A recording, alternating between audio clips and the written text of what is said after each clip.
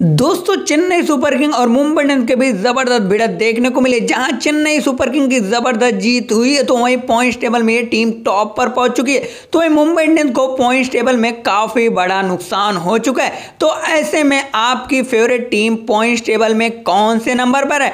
कौन सी वो चार टीमें हैं जो प्ले ऑफ़ में जगह बना पाएँगी? और कौन सी टीम को कितना पॉइंट चाहिए प्ले ऑफ़ में पहुँचने के लिए? ये सारी चीज़ें मैं इस वीडियो में आपको आगे बताऊँगा। तो दोस्तों, पूरा वीडियो अंत तक ज़रूर देखना। और अगर आप इस चैनल पर नए हो तो चैनल को सब्सक्राइब करके बेल आइकन दबा देना। वैसे दोस्तों, आप मुझे इंस्टाग्राम टेलीग्राम पे भी फॉलो कर सकते हो। लिंक आपको डिस्क्रिप्शन में मिल जाएगी। तो दोस्तों, आइए चलो वीडियो स्टार्ट करते हैं। सबसे पहले बात करते हैं आठवें नंबर की। पॉइंट टेबल में आठवें नंबर पर है Sunrisers Hyderabad Sunrisers Hyderabad IPL 2021 में टोटल सात मैच खेली है और सात में से एक ही मैच जीत पाई है, जबकि छह में हार का सामना करना पड़ा। वहीं इस टीम के पास टोटल सिर्फ़ दो पॉइंट है, वहीं net run rate minus zero point six two three है। तो ऐसे में इस टीम को पूरे सात के सात मुकाबले जीतने होंगे प्ले में पहुँचने के लिए। वहीं सातवें नंबर पर है Kolkata Knight Riders. Kolkata Knight Riders total सात मैच खेली है और सात में से दो में जीती है, जबकि पाँच में हार का सामना करना पड़ा है। और वहीं कोलकाता नाइट राइडर्स के पास टोटल चार पॉइंट है। इस टीम को सात में से छह मुकाबले जीतने होंगे प्ले में जगह बनाने के लिए। वही अब बात करें, छठे नंबर की तो छठे नंबर पर है Punjab King.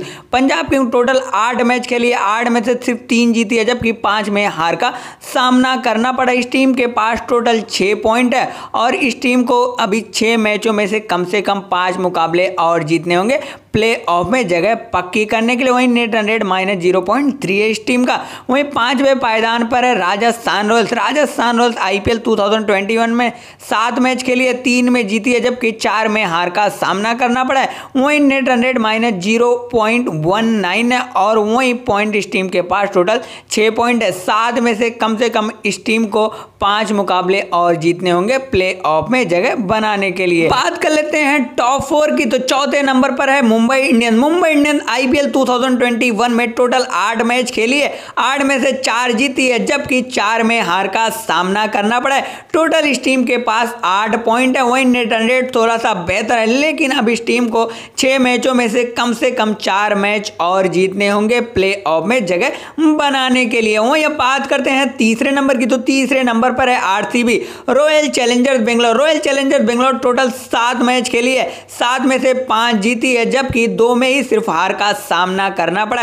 इस टीम के पास टोटल दस पॉइंट अभी इस टीम को प्ले ऑफ़ में जगह बनाने के लिए सात मैचों में से कम से कम तीन मैच और जीतने होंगे। अगर ये चार मैच जीतती है तो प्ले ऑफ़ में हंड्रेड परसेंट जगह बना लेगी। वहीं दूसरे नंबर खिसक चुकी है Delhi Capital Delhi Capital total आठ मैच के लिए, आठ में से छः जीती है, जबकि सिर्फ़ दो में हारी है। वहीं इस टीम के पास टोटल बारह पॉइंट है और नेट हंड्रेड भी काफ़ी बेहतरीन है। तो ये टीम बारह पॉइंट के साथ पहले नंबर पर बनी और इस टीम को टीम को प्ले ऑफ़ में जगह बनाने के लिए छः में से तीन मुकाबले मुकाबले या फिर दो मुकाबले जीतने होंगे। वहीं बात करते हैं पहले नंबर की। तो पहले नंबर पर पहुँच चुकी है Chennai Super King. Chennai Super King total आठ मैच खेली है छह में जीती है, जबकि दो में ही सिर्फ़ हारी है। और इस टीम के पास टोटल बारह पॉइंट। वही नेट रन दिल्ली कैपिटल से काफ़ी बेहतरीन है, जिसकी वजह से ये टीम नेट रन से आगे और पहले नंबर पर पहुँच चुकी है मुंबई इंडियंस को हराकर। तो वो इस टीम को मात्र दो मुकाबले और जीतने होंगे छः मैचों में।